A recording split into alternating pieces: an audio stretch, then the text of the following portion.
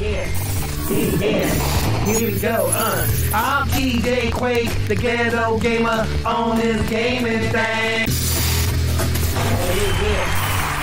Ah, yes, back in the mix once again, ladies and gentlemen. This is TJ Quake, yo, ghetto gamer, and I'm back. That's right, I'm back because it's been a, just a week of craziness of of just all kinds of just uh, news coming out. I can't even keep up with half the stuff that's coming out. I mean, we got Brian Stelter from CNN fired. Brian Stelter's fired, ladies and gentlemen. That'll be on the next video, or maybe we'll talk about it a little later on. I heard that I heard that news from the Black Conservative uh, earlier today. I was tripping when I saw that one. I said, "Oh, what? Brian Stelter finally is gone," which means that it's going to be less content for us content creators, um, you know, to to talk about because you know he's a joke, and um, he got fired because he's a joke.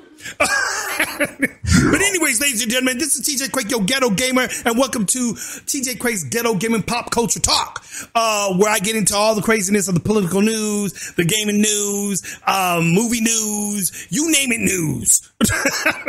I come to you with a ghetto perspective. That means layman's terms. But anyways, ladies and gentlemen, I got to get on this one today because, man, Brandon Tatum had me just tripping when I saw this video. When Brandon Tatum put this one out about this whole thing, um, with, with, with, uh, with this pride, uh, the, not just the pride flag stuff, but where the, where the whole LGBTQ craziness is starting to go to and everything. See, it's not enough for most of these people you know, that, you know, want to be, you know, what, what they, what they enjoy being, whether it be gay or, you know, uh, transgender, you know, uh, they, thems, whatever. That's on you. Nobody has a problem. Nobody ever really had a problem with you being you, being what you want to be. The problem's always been when you guys tried to bring that to us and force us to deal with your fantasy. And we we live in another, you know, another world. We have our beliefs, our systems, what we are, what we're about, and so forth. And we we don't force what we do on you and so forth. We're not forcing you to do these things that we love to do or what we're about. I, I'm into women. I married a woman and everything. I'm not forcing a dude who likes guys to be, hey man, you better get with a woman or else you're to be fired. I, we don't do that. But these flip necks do. And I have two uh, little topics that I'm going to talk about. I'm going to make it quick. I'm not going to be too long on this bad boy. Um, I'm trying to get these videos to get a little shorter and shorter because I know these sometimes these videos go like 30 minutes, 40 minutes sometimes, and so forth. So I'm trying to bring it down a little bit. Um, but I just got so much to talk about sometimes. So it's a lot to get off my mind. But anyway, so we're gonna we're gonna get into this thing real quick. I, I you guys just got to see this for yourself. Enough of me talking. Just watch this for yourself, and you guys are gonna see where I'm coming from because this shit is just getting ridiculous and everything. And I'm gonna bring it right up here because Brandon Tatum, man, he he he shows this shit in a, in a light that just like it, it, it tripped me the frick out, dude. I was tripping when I saw this. So let's go ahead. Let's check this out real quick. You guys about to see where these fools are getting ready to take us. And one of their own, I'm not sure if this girl's actually LGBTQ or not. I think she's kind of maybe tomboyish or I don't know and everything. But she's spilling the beans on what the LGBTQIA ultimate goal is.